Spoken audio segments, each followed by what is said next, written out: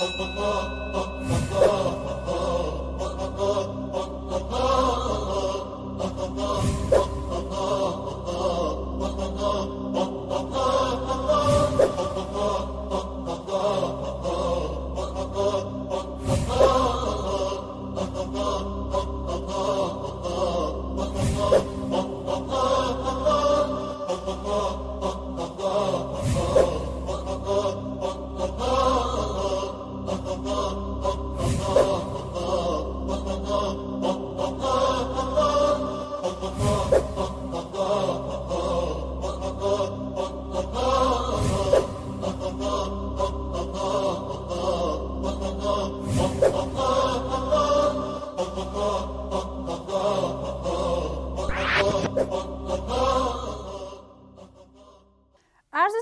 خدمت شما شاگردان مکتب هادی و برنامه آموزشی درس کیمیا خوش آمدید.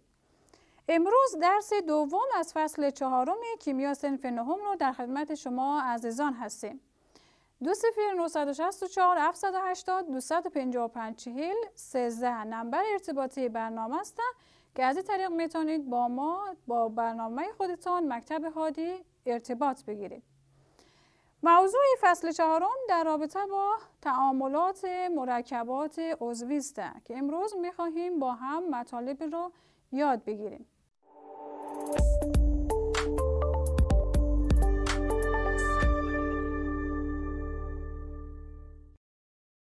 اهداف درسی که ما و شما امروز می‌خواهیم با هم کار کنیم. یاد خواهیم گرفت امروز که تعاملات هایدروژنیشن چه قسمی تعامل است و همچنان تعاملات دی هایدریشن را با هم کار خواهیم نمود و در آخر درس امروز هم تعاملات هایدرولیز را با هم کار خواهیم نمود. با شروع درس امروز با ما همراه شوید.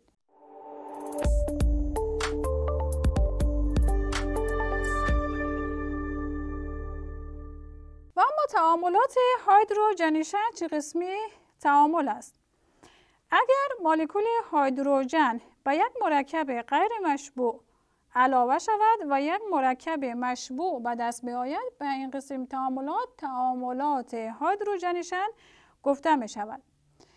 به شکل زیر دقت کنید شاگردها شما مشاهده می کنید که یک مرکب غیر مشبوع وجود دارد که در اثر علاوه نمودن مولکول هایدروژن باعث شده است که تبدیل شود به یک مرکب مشبوع که رابطه ما بین اتم های کربن یک رابطه یگانه است. و اما چه قسمی یک مرکب غیر مشبوع با علاوه نمودن مولکول هایدروژن به یک مرکب مشبوع تبدیل می شود که معادله های آن را شکل آن را بر روی تخت سیاه نوشته می کنیم و با هم کار می کنیم. بعد تعامل هایدروژنیشن خوب دقت کنید شاگردان عزیز در تعامل هایدروژنیشن که مولکول هایدروژن یک مرکب غیر مشبوع که رابطه ما بین اتم های کربن یک رابطه دوگانه است. وقتی که علاوه می شود هر کدام از این دایره ها اتم های کربن را برای ما نشان می دهد اتم های کربن وقتی مولکول هایدروژن که یک مولکول دو اتمی است علاوه می شود به یک مرکب غیر مشبوع باعث می شود که یک تا از رابطه های دوگانه حذف شود و تبدیل شود به یک رابطه یگانه. همزمان با اینکه رابطه یک تا از رابطه های دوگانه حذف می شود و دو اتم کربنی که قبلا رابطه دوگانه داشته است اتم های هایدروژن به آن علاوه می شود به این صورت رابطه ها تشکیل می شود. پس در تعامل هایدروژنیشن در اثر علاوه نمودن مولکول های هایدروژن باعث می شود که مرکب غیر مشبوع که رابطه دوگانه دارد تبدیل شود به یک مرکب مشبوع که رابطه ما بین اتم های کربن یک رابطه یگانه است به این صورت.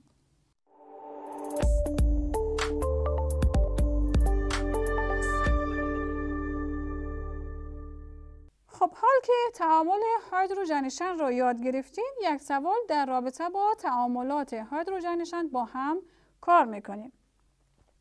سوال قسمی است. بر اثر تعامل hydrogenation استیلین چه نوع مرکبی حاصل می شود برای اینکه تشخیص بدین که چه نوع مرکبی حاصل می شود شاگردها باید مرکب استیلین را فرمول مولکولی آن را یاد داشته باشید بر روی تخت سیاه نوشته کنید و به آن مولکول H2 هیدروژن را علاوه کنید و ببینید که چه قسمی محصول مورد نظر یا مرکب مورد نظر حاصل می شود یا تولید می شود پس بر روی تخت سیاه معادله مورد نظر را نوشته می کنید خب استیلین را شما می‌دانید از جمله مرکباتی است که رابطه ما بین دو اتم کربن یک رابطه سگانه است. از جمله الکاین ها می باشد پس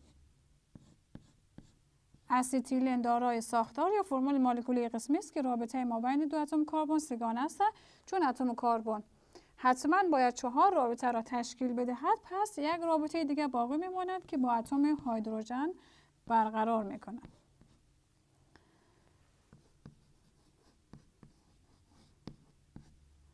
خب گفته در اثر تعامل هایدروژنیشن استیلین چه مرکباتی حاصل می شود وقتی با مولکول هیدروژن وارد تعامل می شود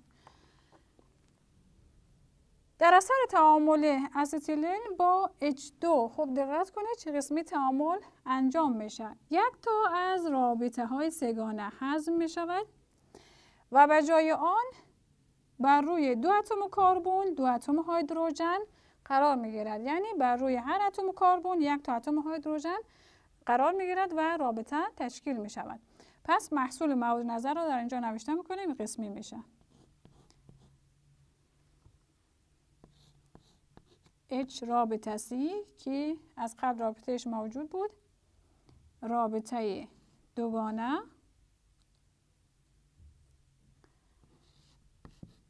این رابطه هم که از قبل موجود بود. بر روی هر دو اتم کربن بر روی هر کدام یک اتم هیدروژن به این صورت قرار می گیرد و مرکبی که به دست میاد مرکب است الکین که رابطه ما بین دو اتم کربن یک رابطه دوگانه است.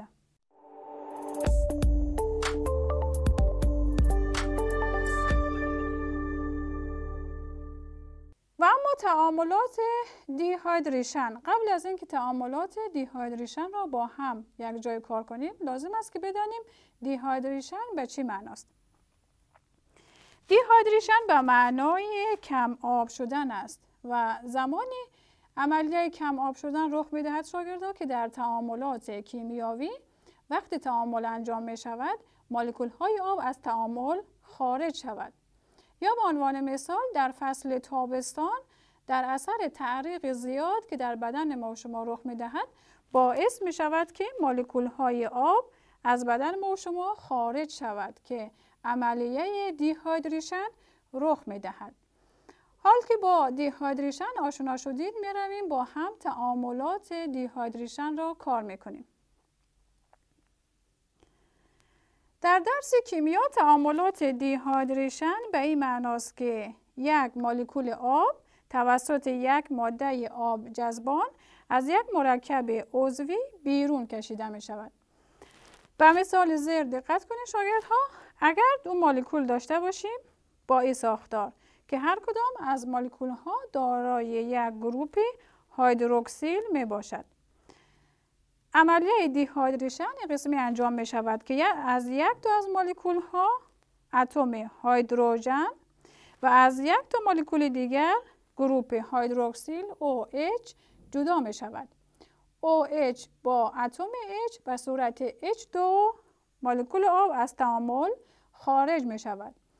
و از قسمتی که اتم های هیدروژن و اتم های و گروپ هیدروکسیل جدا شده است باقی مانده مولکول با هم به این صورت رابطه تشکیل می دهد که یک ساختار ایتری را در اینجا تولید کرده است.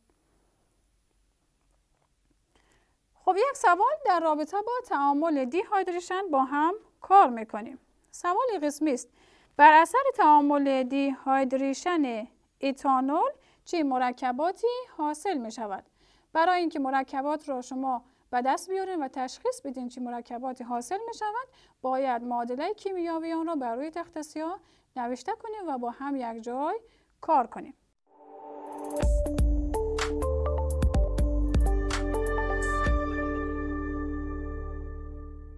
خب گفته بر اثر تعامل دیهایدریشن اتانول چه مرکباتی حاصل می شود شما ساختار ایتانول رو باید یاد داشته باشید. ایتانول از جمله الکل است که دارای دو اتم کربن می باشد. پس ساختار آن قسمی است. CH3 رابطه. CH2 رابطه OH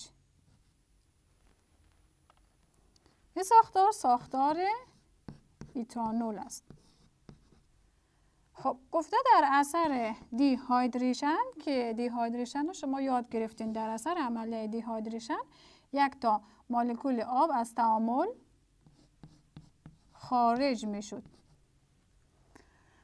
خب دقت کنید که خارج شدن مولکول آب چه قسمی انجام می شود مولکول ایتانول را اگر قسمی فرمول آن را به این صورت نوشته کنیم که به طور واضح شما مشاهده کنید چه قسمی مولکول آب از تعامل خارج می شود CH2 که رابطه داره با یک تا اتم هیدروژن. یک تا از اتم های هیدروژن رو به این صورت قرار دادیم. CH2 بعدی که با OH گروپ هیدروکسیل رابطه داره. اگر ما فرمول رو به این صورت هم نوشته کنیم هیچ فرق ندارد در اثر تعامل دیهایدریشن ایتانول باعث می شود یک تا گروپ هیدروکسیل از روی کربن CH2 و یک تا اتم هیدروژن از روی کربن CH2 دیگه خارج می شود OH با H می شود H2O از تعامل خارج می شود مولکول آب. بر اثر خارج شدن مولکول آب از تعامل موارد نظر شاگردها یک تا رابطه ما بین دو اتم کربن تشکیل می شود پس فرمول به این صورت میشه. CH2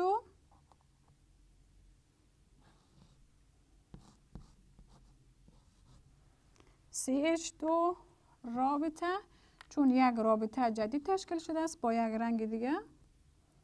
و CH2 دیگه که در رابطه موجود بود. پس در اثر تعامل دیهایدریشن یک مولکول با خارج شدن H2O مولکول آب باعث میشه یک تا رابطه ما بین دو اتم کربن تشکیل شود به این صورت که یک ساختار الکین را برای ما تشکیل می‌دهد.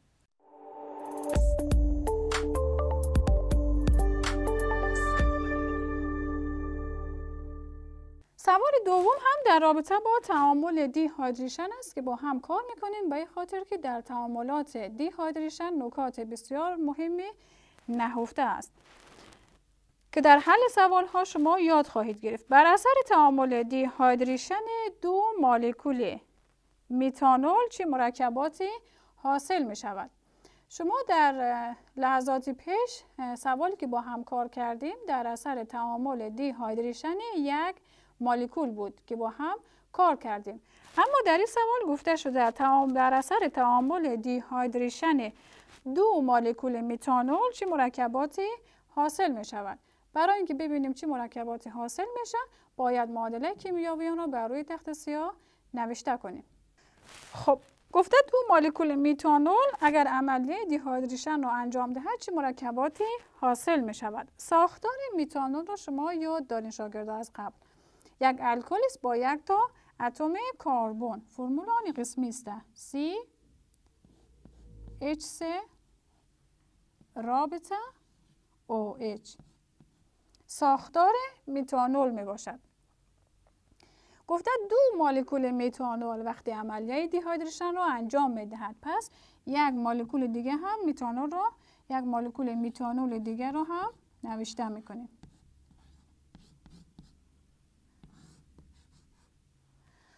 خب ببینید چه قسمی عملیه دیهایدریشن رخ می‌دهد و یک مولکول آب از تعامل خارج می شود چون دو مولکول داریم شاگردها از یک از یک مولکول گروپ هیدروکسیل جدا می شود و از یک مولکول هم اتم هیدروژن اتم هیدروژن با OH H2O مولکول آب رو تشکیل می‌دهد که از تعامل خارج میشه.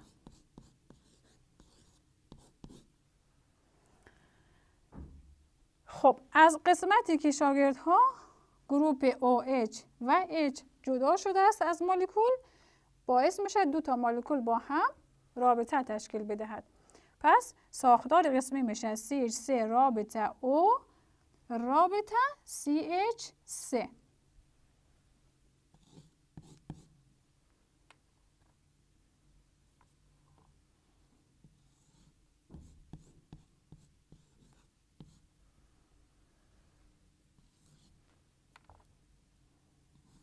چون این رابطه جدید تشکیل شده است با یک رنگ دیگه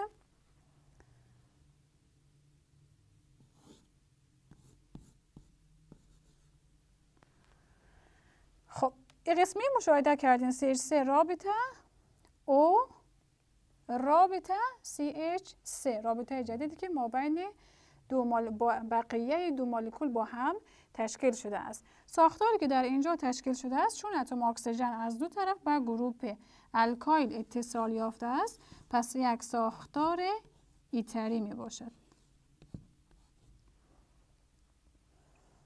پس فرق سوال اول را شاگردان عزیز با سوال دوم در حل این سوال شما یاد گرفتید که اگر یک مولکول آب در اثر عملیه دیهایدریشن از یک مولکول خارج شود باعث می شود که در اثر حذف شدن مولکول خارج شدن مولکول آب یک رابطه ما بین دو اتم کربن تشکیل شود اما اگر دو مولکول داشته باشیم عملیه دیهایدریشن رخ دهد در اثر خارج شدن یک مولکول آب دو مولکول مورد نظر از جایی که مولکول آب خارج شده است با هم رابطه را تشکیل می دهد و این صورت و یک ساختار ایتری را برای ما تولید می کند.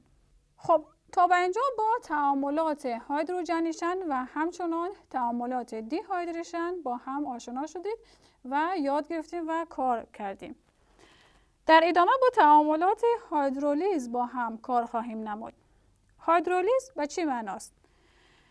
هایدرولیز از دو قسمت یا دو بخش تشکیل شده است. هایدرو به معنای آب و لیز هم به معنای جدا ساختن یا جدا کردن است. هایدرولیز یک کلمه یونانی است به معنای جدا شدن مرکبات توسط مولکول آب است.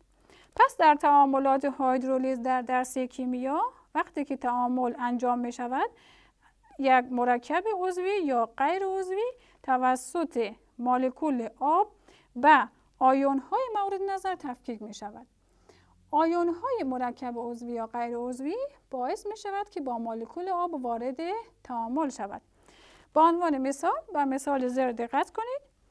A رابطه B که یک مولکول می باشد که از اتم های A و B تشکیل شده است. وقتی با مولکول آب وارد تعامل می شود عملیه هایدرولیز انجام می شود.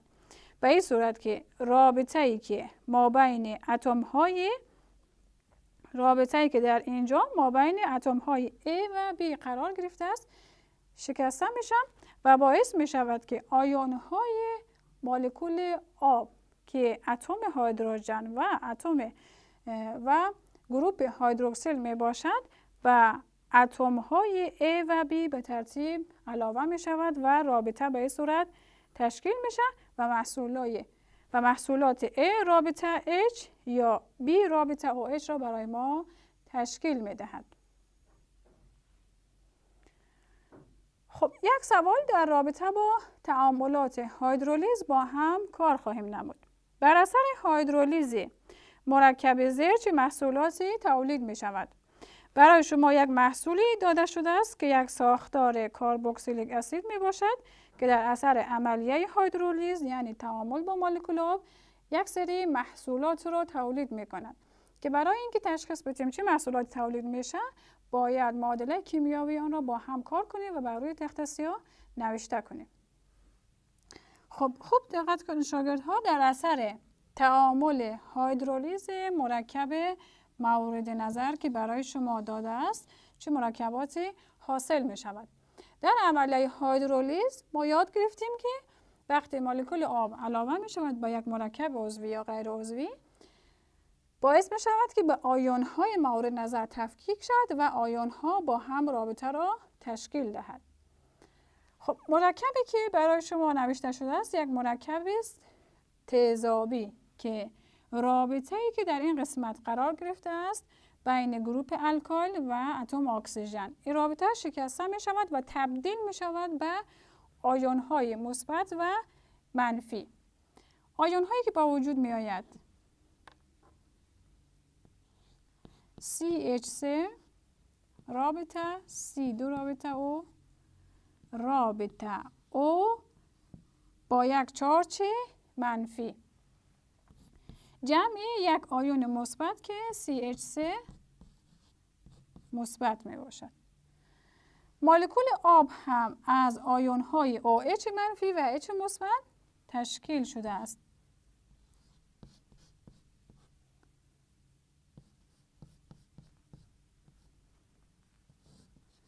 خب. وقتی به آیون های مورد نظر تفکیک شد باعث می شود که آیون منفی مرکب مورد نظر ما با آیون مثبت آب که H اتم هیدروژن می باشد وارد تعامل می شود. مرکبی که با وجود می آید CH3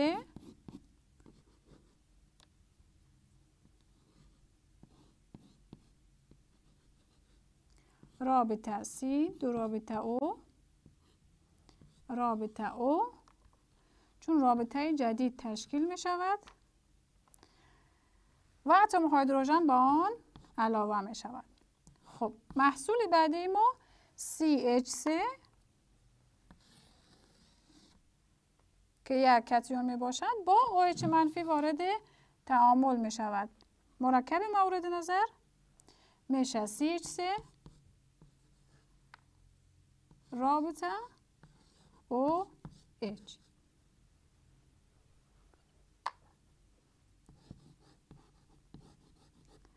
پس در عملیه هیدرولیز همونطور که مشاهده می‌کنید اتم هیدروژن و گروپ هیدروکسیل و بقیه مرکب عضوی یا غیر عضوی که در این قسمت رابطه شکسته شده است علاوه می شود و رابطه تشکیل می شود خب شاگردان عزیز درس امروز ما تمام شد. امروز ما شما یاد گرفتیم با انواع تعاملات هیدروژنیشن تعاملات دی هیدریشن و تعاملات هیدرولیز که هر کدام را جداگانه با هم کار کردیم و سوالهای مربوط به آن را با هم حل کردیم.